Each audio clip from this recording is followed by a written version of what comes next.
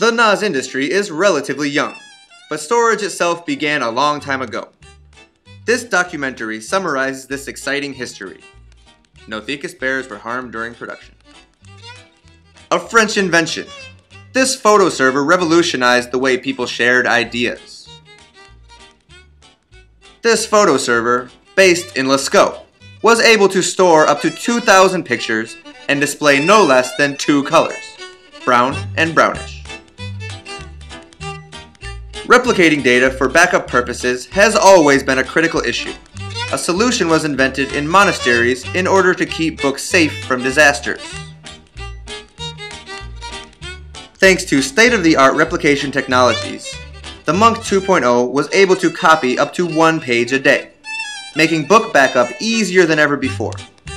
This process was later greatly improved by the Gutenberg printing module.